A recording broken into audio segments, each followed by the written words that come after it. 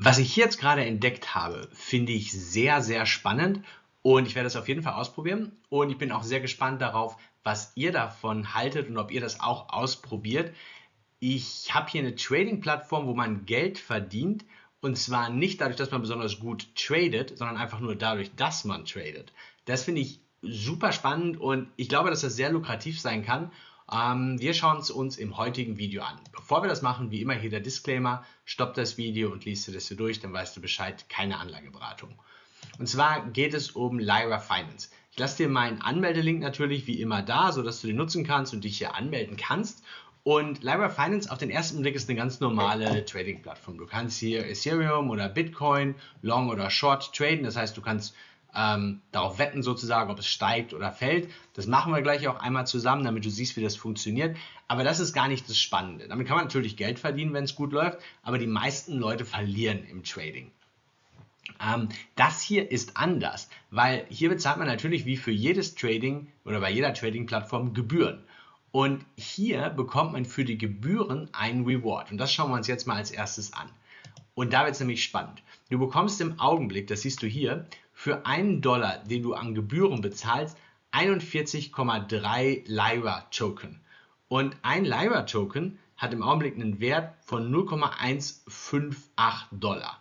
Also ähm, da muss man jetzt kein Mathe-Genie sein, um zu sehen, dass das mehr ist, als man an Gebühren zahlt. Wir können es einfach mal ausrechnen. Ähm, 41,3 mal 0,158 sind 6,5. Das heißt, dadurch, dass ich einen Dollar Gebühren zahle, bekomme ich 6,5 Dollar Rewards im Lyra-Token. Das ist spannend. Das ist wirklich spannend, weil dann kann man sogar schlecht traden. Man kann im Prinzip einen Trade aufmachen, ähm, den sofort wieder schließen. Das machen wir gleich mal zusammen. Und dadurch generiert man äh, Gebühren, aber diese Gebühren sind geringer als die Rewards, die man im Lyra-Token bekommt. Da gibt es natürlich einen Haken dran. Es gibt immer einen Haken. Und äh, der Haken ist hier ganz klar, wenn man sieht, wann die Fees unlocked werden. Man sieht nämlich, dass die äh, Gebühren, die jetzt in der Zeit vom 7. Februar bis 1. Mai anfallen, also im Augenblick, ähm, erst nach dem 1. Mai freigeschaltet werden. Und wenn wir hier in meine Rewards History gehen, ich habe das mal ausprobiert auch schon, sehen wir, dass ich zum Beispiel 99 ähm, Lyra Token habe, die sind aber locked für noch 53 Tage. Das heißt, ich kann die erst in 53 Tagen verwenden.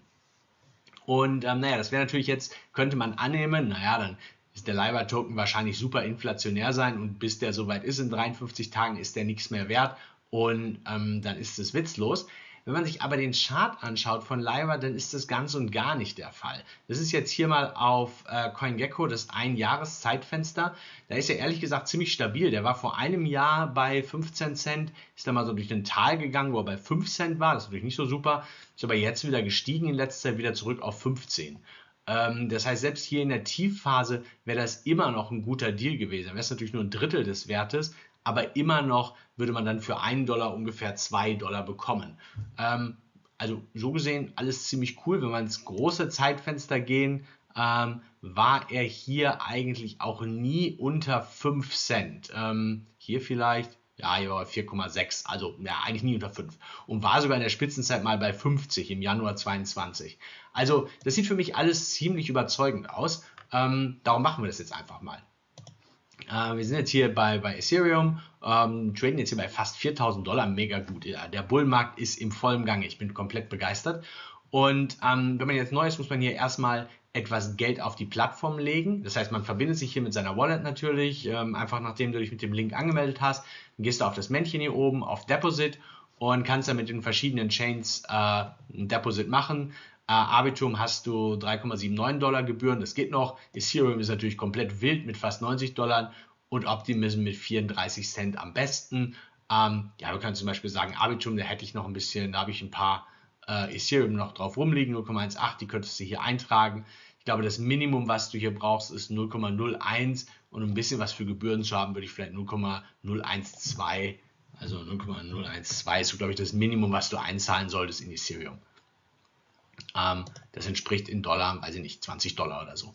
Ähm, das ist, glaube ich, so der Mindestbetrag, den du hier haben musst. Das habe ich jetzt schon gemacht. Und äh, dann gehst du einfach auf Deposit und dann war es das. Dann hast du die auf der Plattform. und dann kannst du die einsetzen. Das siehst du in deinem Portfolio auch. Hier kann man das sehen. Ähm, ganz kurz, wie viel hier drauf ist im Augenblick. Hier sieht man den Betrag.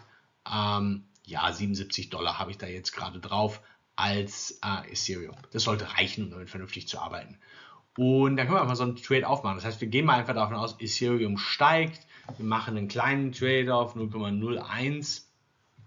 Ähm, und dann sehen wir hier bei dem Trade mit einem 0,51er Hebel, also ein bisschen sehr konservativ, hätten wir 20 Dollar Rewards. Ähm, hier beim Zweierhebel, da sind es ein bisschen mehr, das sind übrigens, sorry, nicht 20 Dollar, sondern 20 Lyra oder in diesem Fall eben 24 Lyra.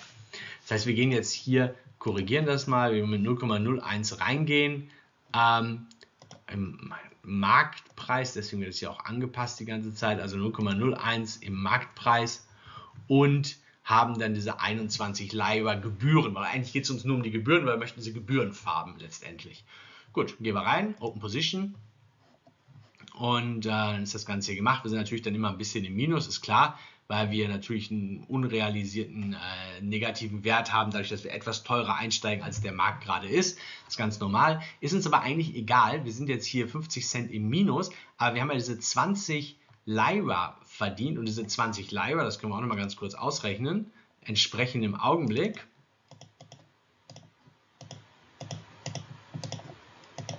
drei Dollar. Das heißt, wir sind hier 50 Cent im Minus, ähm, kommen wir bei 3 Dollar an Gebühren ähm, zurück. Insofern ein super Deal, machen wir direkt wieder zu. Close Position und dann war es das. Wir haben jetzt hier einen Dollar verloren, weil 50 Cent hin, 50 Cent zurück im Prinzip, aber haben ordentlich von diesen Rewards eingesammelt. Da können wir direkt mal in die Rewards History gehen. Ähm, hier müsste man jetzt eigentlich sehen, genau, da sind wir schon mal 142. Die sind natürlich weiterhin locked bis noch 53 Tagen. Und im Prinzip könnte man dieses Spiel jetzt hier munter die ganze Zeit hin und her machen und ordentlich Gebühren ansammeln. Ah, der geht immer automatisch hin, diesen Limit, das nervt. Markt, ähm, können natürlich auch ein bisschen aggressiver sein, können in Fünffachhebel reingehen. Ähm, haben natürlich dann hierdurch etwas bessere Gebühren, werden aber schneller liquidiert, das möchten wir nicht unbedingt. Also wir wollen ja hier weiter relativ konservativ unterwegs sein. Uns geht es ja eher darum, Gebühren anzusammeln und nicht irgendwie hier Trading-Gewinne zu erzielen. Also machen wir auch die Position wieder auf und sind natürlich wieder hier im Minus. Können es jetzt direkt mal zumachen, auch wieder, um dann die Gebühren einzusammeln. Aber wir lassen es jetzt mal vielleicht kurz auf, vielleicht kommen wir ja sogar in einen leicht positiven Bereich ähm, je nachdem, wie sich der Markt jetzt hier gerade entwickelt. Genau, die Kerze gehen so ein kleines bisschen nach oben, das reicht aber noch nicht. Ähm, und das finde ich ist eine ziemlich geniale Möglichkeit. Also eigentlich klingt es ein bisschen zu gut, um wahr zu sein. Ähm, aber im Augenblick sehe ich noch keinen Haken. Also als ich das zuerst gesehen habe mit diesen Rewards, habe ich dann natürlich gedacht, ja, pff, klar, der Token ist mega inflationär, der wird runtergehen wie nichts über die Zeit. Tut er aber scheinbar eben nicht, wenn man sich diesen Chart hier anschaut. Über das Jahr hinweg ist er sogar in der letzten Zeit sehr, sehr positiv, seitdem dieses Programm läuft. Ähm, ja, ich bin da eigentlich ähm, sehr, sehr positiv. Auch hier Circulating Supply ist natürlich ein bisschen weniger als Total Supply, aber ist jetzt auch nicht so mega viel weniger. Es sind 78 Prozent wenn ich das richtig sehe, sind die schon ausgeschüttet. Das heißt, so richtig super inflationär äh, können die den auch gar nicht mehr ausschütten. Ähm, das sieht eigentlich alles ganz gut aus. Was natürlich wichtig zu beachten ist, es gibt einen gewissen Pool. Ähm, und ich denke, die Rewards werden angepasst, wenn der Pool aufgebraucht ist. Das heißt, wenn ihr mehr Fees ähm, angesammelt werden, als dieser Pool hergibt, werden wahrscheinlich pro Dollar die Anzahl an Token, die ausgeschüttet werden, geringer. Das macht natürlich auch Sinn, um das Ganze so ein bisschen anzupassen. So, wie sieht unser Trade aus? Boah, eigentlich unverändert schlecht, da tut sich gerade nicht viel. Es geht ein bisschen hoch, aber nicht so viel, als dass uns das hier den Trade retten würde. Ähm, ich glaube, ich lasse den einfach jetzt mal ein bisschen auf. Vielleicht läuft er noch ins Positive. Dann mache ich ihn leicht positiv zu und sammle Gebühren an. Und ähm, das werde ich jetzt wahrscheinlich mal so eine halbe Stunde machen, dass ich so ein bisschen hin und her trade ohne, ohne großartig Gewinne oder Verluste wahrscheinlich zu erzielen, aber einfach um Gebühren einzusammeln. Ich bin gespannt, ob ihr das auch machen wollt. Ähm, ja, meiner Meinung nach sehr interessante Geschichte. Das war's für heute. Bis zum nächsten Mal. Ciao.